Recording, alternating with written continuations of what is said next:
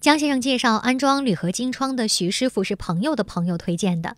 朋友推荐的嘛，我还是比较信任的。当时就那个约他到我的家里那个房子那里，那个量了一下尺寸，然后量完尺寸之后算下来大概是总价是一万一千八百元。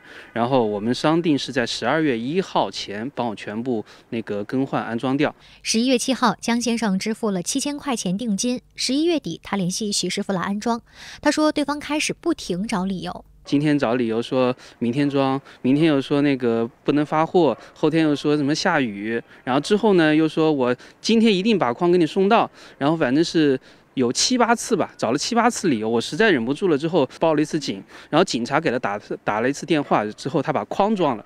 江先生介绍，装好窗框后，对方一开始说三天内装玻璃窗，结果又拖延了，因为窗户一直没装好，装修工期也一直被耽搁着。我再联系他。电话也不接，微信也不回，然后就这样，内散还是没有到。江先生没有去过对方的办公地点，合同上盖着杭州某建材有限公司的印章。这家公司的注册地址在萧山四季中心，按地址找过去，敲门始终无人应答。江先生付款时，收款方显示杭州某建设工程有限公司。再找到这家公司在滨江的办公地址，现场没有公司在营业，拨打合同上的联系电话也一直无人接听。记者通过短信表明了身份，徐师傅回了电话。他介绍，窗户其实是自己找施工队安装的，没有公司介入。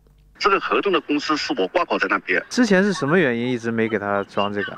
嗯，确实是我的问题。这个材料我是定的，然后因为我合作的工厂啊，我确实有一笔欠款在，别人拖欠我的钱，然后那边工厂没付清，然后工厂把这笔材料扣了。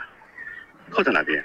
徐师傅介绍，他有一批材料钱没付，所以提供材料的工厂一直不愿意给他发货，导致他没法给江先生施工。接下来他会尽快去和工厂沟通。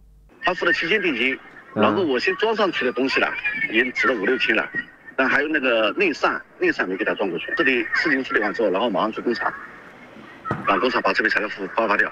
嗯。那这事情嘛解决掉不就好了？